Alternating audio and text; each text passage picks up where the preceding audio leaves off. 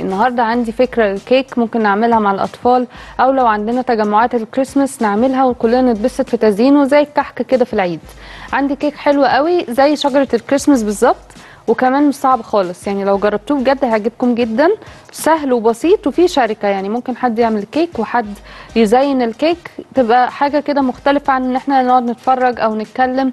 نعمل شركة مختلفة وفي نفس الوقت تبقى بتدينا الروح وال spirit بتاع الكريسماس. خلينا نقول مع بعض المقادير.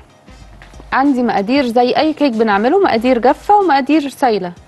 بس فيها كام حاجة مزوداها تدي volume أكتر أو ارتفاع أكتر للكيك وتخليه هش شوية. وفي نفس الوقت هنزين بألوان الكريسماس اللي هي الخضراء بتاعت شجر الكريسماس. عندي المقادير الجافة 180 جرام دقيق 6 جرام baking soda 3 جرام ملح نص كوب كاكاو خام واحد وتلت كوب سكر. كل ده بالنسبة لي مقادير الجافة. هتستغربوا ليه مش مدخلة الكوب السكر مع المقادير السايلة كالعادة. هقول لكم ليه. عندي المقادير السايلة 120 ملي لبن 60 ملي sour cream بيكون ظريف جدا. لو ما فيش sour cream نبدله بإيه؟ نبدله بزبادي. ده بيدي بقى طعم هش وجميل وبيخلي الكيك خفيف جدا عن العادي بتاعه. عندي اتنين معلقة كبيرة فانيليا. عندي 118 ملي زبدة سايحة. اتنين معلقة كبيرة قهوة سايلة لو مفيش أطفال. اتنين بيضة. هزين ده بكريمة خفق للحلويات أو كريم شانتيه. الاتنين ينفعوا أو كريمة الزبدة. أسهل حاجة كريمة الخفق أو كريم شانتيه إن هما ما بيحتاجوش أي إضافات. هلون الكريمة دي هاخد جزء منها أبيض وهاخد جزء تاني ألونه باللون الأخضر عشان أعمل شكل الشجرة. عندي سكر بودرة عندي 8 كونو بسكوت اللي هو بتاع الآيس كريم. هحتاج ورق كب كيك وبس كده. أول حاجة هبتدي أعملها دلوقتي إن أنا أجهز المقادير الجافة والمقادير السايلة. عندي المقادير الجافة عندي إيه؟ عندي سكر. وهنخل كل حاجة مش عايزة أي كلكعة في الكيك بتاعي. وعندي كاكاو. وده أكتر حاجة بتعمل كلكعة. زي ما أنتم شايفين اهو في حتت كده بتبقى مكلكعة. أنا مش عايزاها في الكيك خالص. فمهم إن إحنا ننخل المقادير الجافة. وبعدين نعمل المقادير السايلة. عندي دقيق. يبقى حطينا دقيق كاكاو سكر. عندي البيكنج صودا عندي الملح. كده المقادير الجافة كلها بتاعتي جاهزة. بقلبها كده. أجهزها أدخلها في بعض. ده من غير أي مضرب ومن غير أي حاجة. أنا بجهزها لوحدها. قلبت كده لحد لما ألاقي الكاكاو هو اللي باين أكتر حاجة. مش باين معايا اللون الأبيض باين معايا الكاكاو. الحاجات دي بتكون جميلة قوي في الكريسماس عشان بتشجعنا كده كلنا نعمل حاجة مع بعض. آه يبقى فيها هزار يبقى فيها ضحك تخلي فيه روح حلوة كده. روح بهجة كده في المكان في التجمع اللي إحنا عاملينه. مختلف عن ان إحنا نجيب كيك جاهز وناكله على طول. الحاجات لما بتبقى إحنا اللي عاملينها بيبقى ليها معنى مختلف. وفي نفس الوقت بتكون برضو فيها ان إحنا بنوفر يعني ممكن نعمل عدد اكبر جدا بمبلغ لو اشتريناه من بره هيكون اغلى جدا. اشيل دول كده وابتدي احضر المقادير السايله عندي إيه؟ عندي بيضتين. دايما بقول لكم في الكيك اقعدوا اضربوا كل حاجة لوحدها. في الكيك ده لا أنا هقول لكم جهزوا المقادير الجافة حطوها كلها على بعضها وحطوا المقادير السايلة كلها على بعضها وبعدين اضربوا الاتنين مع بعض عشان هي كيكة سريعة وحلوة. الزبادي هيخلي كل الحاجات تدخل في بعض. عندي القهوة دي أنا مزوداها دي لمسة إضافية أنا بحب القهوة في الكيك وفي نفس الوقت آه، مفيش أطفال. يعني إحنا اللي هناكل كل الاستوديو هياكل الكيك ده. لكن لو في أطفال دي طبعا هتخليهم يسهروا مش أحسن حاجة القهوة للأطفال. بس هي بتدي طعم غني جدا للكيك وبتخليه أحلى. يعني بتدي تاتش كده للناس اللي بتحب الكافيين عامة هتحبه جدا. عندي الزبدة. الزبدة دي بقى اختياري. لو ما حطيناش زبدة هنزود ال- الزبادي أو الساور كريم هنزود حجمه للضعف. ده في حالة عدم وجود زبدة. لكن أنا هحط زبدة عشان عايزة الطعم يكون غني كده وفيه شوية دسامة. أشيل كل ده ونشوف هنعمل إيه مع بعض. ال sour cream اللي هي الكريمة الحامضة هي شبيهة للزبادي شوية بس طعمها حامض شوية. مع السكريات بتاعة الكيك بتخلي فيه mix في الآخر كده. بنحس كأن إحنا عاملين حاجة حادقة مع حاجة حلوة فبتظبط الطعم بتظبط السكريات الزيادة. بس مش كل الناس بتحب إضافتها أو ممكن تستغلاها أو ممكن ما تلاقيهاش. فأنا بدلها بزبادي. الكيك لما بيتحط له زبادي بيبقى هش جدا بيرتفع كده وبنحس الفراغات بتاعته بتبان أكتر اللي هي بتبقى جوه دي. وأنا هوريكم كمان بعد لما استوت بقى شكلها إيه. دلوقتي طبعا الزبدة هتقعد تعمل كلكعة. أنا بس بحاول أقلب المقادير الجافة والمقادير السايلة بقلبها أهي والمقادير الجافة أنا جهزتها. يبقى إحنا عملنا إيه؟ عملنا المقادير الجافة كلها على بعض نخلناها وعندي المقادير السايلة كلها ضربتها بالمضرب السلك. لسه فيها كلكعة. تحتاج إن هي بقى تتضرب بالمضرب الكهرباء وينزل عليها المقادير الجافة واحدة واحدة في اتجاه واحد. بعد الفاصل وهضرب بقى دلوقتي المكونات السايلة اللي هي كانت بيض وزبادي وفانيليا وقهوة. أضربها كلها عشان أدوب الزبدة مع البيض مع الفانيليا مع اللبن. أدوب بقى كل ده مع بعض كده. وأنا أصلا مجهزة المكونات الجافة. لما أضرب دي هنزل بقى بيها واحدة واحدة. فيبتدي خليط الكيك عندي يجهز على طول.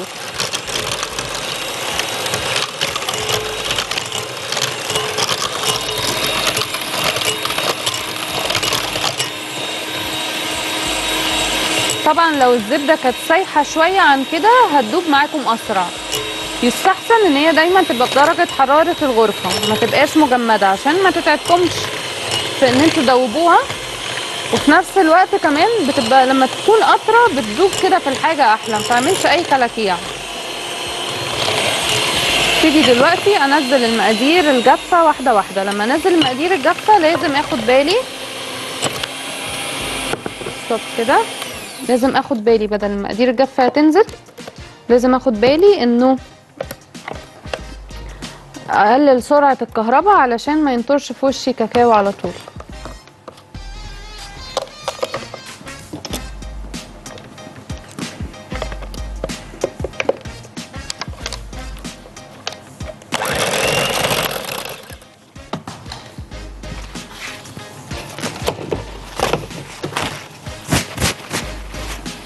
عمل لي حادثة أهو.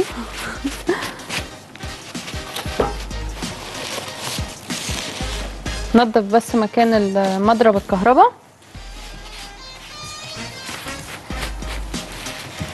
هعمل إيه بقى دلوقتي؟ هنزل الكيك المقادير الجافه مش السايلة.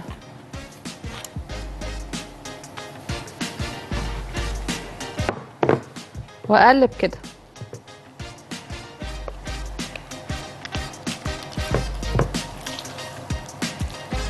في اتجاه واحد. وانزل الباقي واقلب برضو في اتجاه واحد.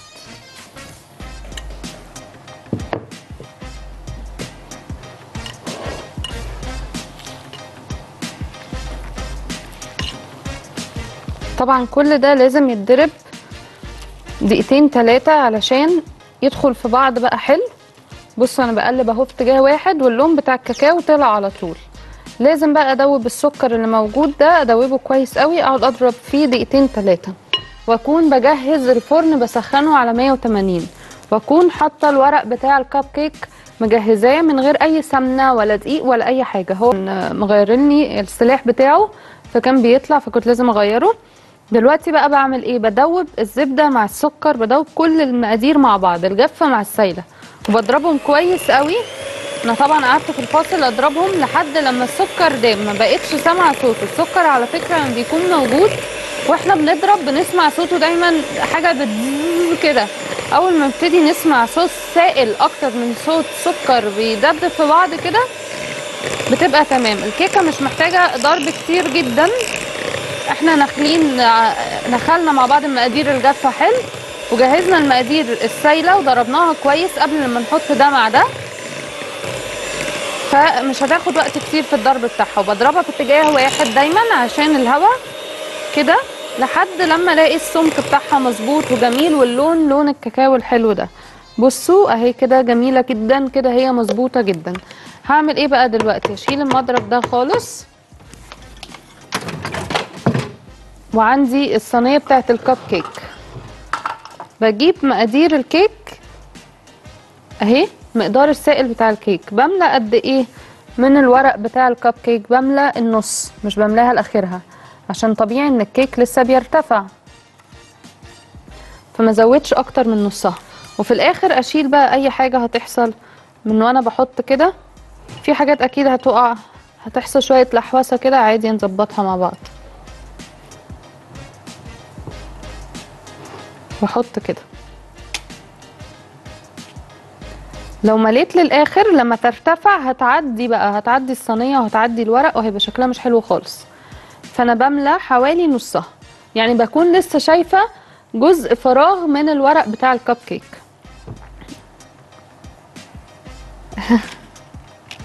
كله هيتاكل كده كده. بس الارتفاع عشان إحنا هنعمل شجرة فوق الكب كيك ده. فأنا مش عايزاه يرتفع قوي قوي فيبوظ لي الشكل اللي أنا عايزة أعمله. طبعا أنا كده مليت معاكم ثلاثة طبعا بقى بننضف أي حاجة نزلت مننا وإحنا بننزل السائل بتاع الكيك. بننضف كويس عشان ده ما يستويش جوه ويعمل لي حروف كيك تمسك في الورق فيبوظ الدنيا. بدخل السائل ده على 180 فرن يكون سخن لازم يكون سخن عشان الكيك ما يهبطش لازم. بيدخل من 20 ل 25 دقيقة.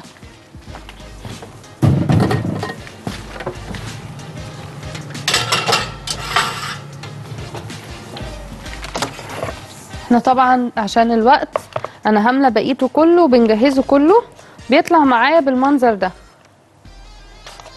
بصوا منظر جميل جدا.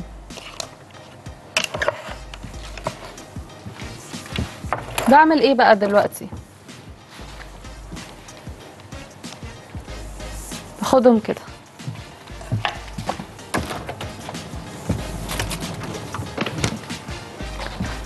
عندي العصيان بتاعت عندي دلوقتي الكونو البسكوت الكونو بتاع الايس كريم العادي. بجيب كده الكونو وببتدي اعمل فراغ في الكيك. عشان الكونو ده اعمل له زي فتحة ليه هغرزه في الكيك. طبعا الكلام ده في الآخر ده كيك فلازم بقى إيه بالراحة قوي قوي قوي يعني بلاش نغوط قوي اعمل كده. كده اهي الفتحة بتاعت الكونو جاهزة. بنزله كده إيه بالراحة. تمام؟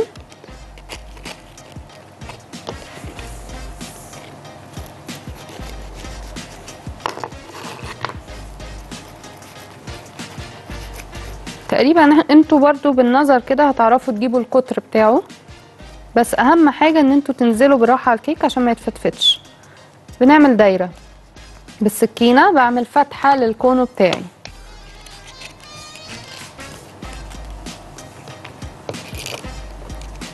في آه، كونو بتبقى الزوايا بتاعته شوية طالعة لفوق كده إحنا عايزين ناخد بالنا بنختار أنهي يعني. كده؟ ما تقلقوش خالص من المنظر المعمول ده لأن كل ده إحنا هنظبطه دلوقتي.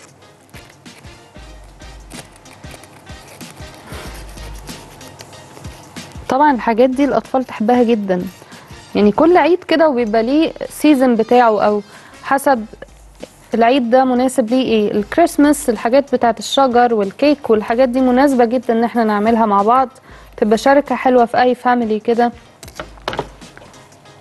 تدي روح بهجة وحب وتخلي الدنيا ظريفة ونحس بمعنى العيد.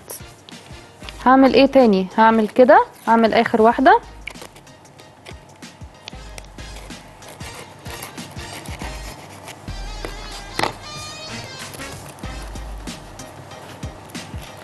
من ال cakes الجميلة اللي هتحبوها جدا. الكيك ده وبيدي شكل في الآخر جميل جدا جدا. أنا الكون ده في الآخر كنت شاكة فيه من وأنا بعمله. أهي دي فتحت بزيادة فدي ممكن أبدلها بواحدة تاني تكون ماسكة نفسها أكتر. أعمل دايرة كده.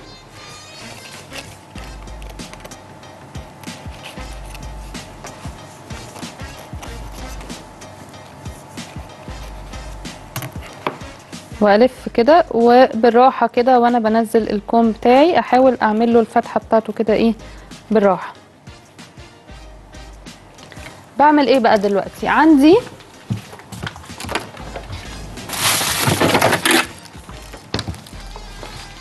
عندي اتنين كريم شانتيه أو كريمة اللي هي بتاعة الحلويات. بجيب الكريمة بعد ما بخفقها بزود عليها اللون الأخضر بزود عليها اللون الأخضر اللي هو اللون ده. وبقعد أقلب لحد لما أوصل للون ده اللي هو اللون الأخضر. غامق فاتح حسب إحنا هنحب أنهي درجة. كل لما نزود اللون هنلاقيه عمال بيغمق أكتر. طبعا هو هيحتاج أكتر جدا من الكمية اللي أنا حطيتها بس أنا عشان استهلكتها في اللي أنا كنت بسقعها. هتجيبوا اللون الأخضر وهتجيبوا الكريمه أو الكريم شانتيه وتخفقوه وتقلبوه. لحد لما توصلوا للون اللي هو اللي معايا ده. اللي باين قدامكم في الكاميرا. هتقعدوا تزودوا وتقلبوا. وبعدين تحطوه في كيس حلواني. تاخدوا جزء أبيض من غير اللون وجزء تاني اللي هو باللون. عندي الجزء الأبيض. هاخده وأعمل بيه كده.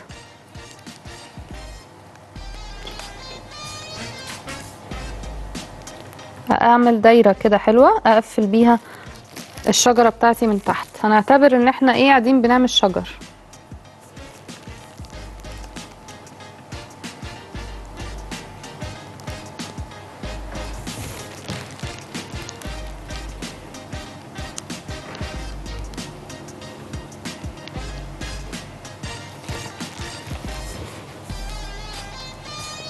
اهو كده.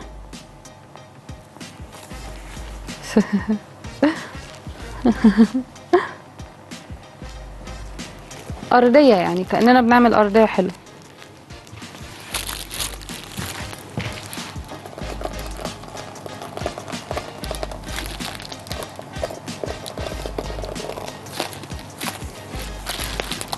وأعمل إيه تاني؟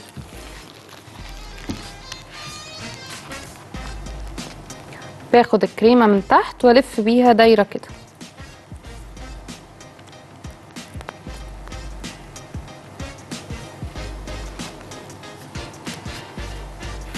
براحة بقى في التعامل مع التزيين للكيك ده عشان هو كونه في الآخر بسكوت وكيك الحاجات كلها هشة جدا يعني.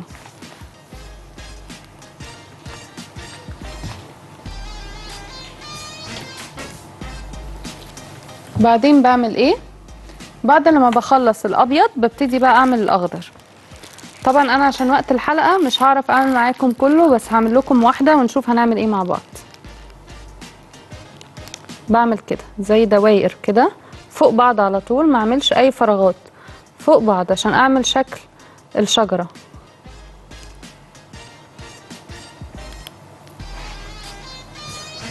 بصوا الجمال. لا رائعة رائعة رائعة بجد جميلة جمال غير عادي. إيه رأيكم في ال Christmas tree هكملها بقى من كل الجوانب. كل الحاجات دي بتدي شكل جمالي حلو في الآخر. أنا بحاول أعمل لكم أبسط حاجة عشان تتشجعوا تعملوها.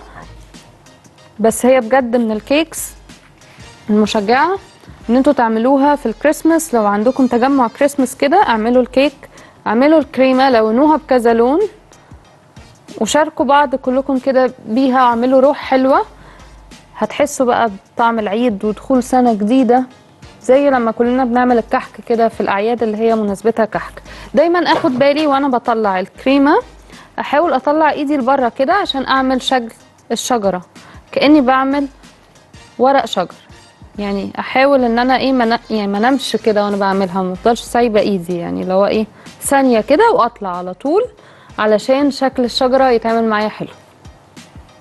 طبعا الأطفال يعني دي تبقى وصفة بالنسبة لهم تحفة لعبة كأنك بتقول لاي طفل ارسم يعني.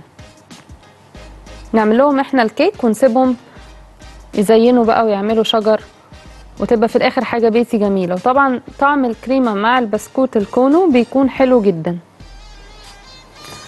هاجي فوق وأقفل الشجرة كويس جدا اتاكد إن هي متقفلة عشان ما يبقاش فيه أي شكل بسكوت. الشكل هايل أنتوا أكيد واخدين بالكم شكل جميل جدا. في الآخر بنشوف أي فراغات ما فيهاش كريمة وبنملاها كده. والمقادير موجودة تاني على الشاشة عشان لو حد عايز يكتب تاني. مقادير كيك عادية وبعد ما الكيك طلعت بعد من 20 ل 25 دقيقة على 180 سيبناها تبرد. عملنا شكل فراغ للبسكوت قبل لما نغرسه في الكيك. شكل دايرة وغرزنا البسكوتة بالراحة جدا. بعد لما غرزناها بالراحة نزلناها لتحت كده عشان تمسك في الكيك من النص وبعدين عملنا من تحت الشكل الأبيض دايرة بيضة. وبعدين بدأنا نعمل باللون الأخضر على كريمه خفق أو كريم شانتيه. بدأنا نعمل شكل ورق الشجر اللي أنا عاملاه ده وخلاص كده. أخيرا بعمل إيه للكيك؟ أحط كده.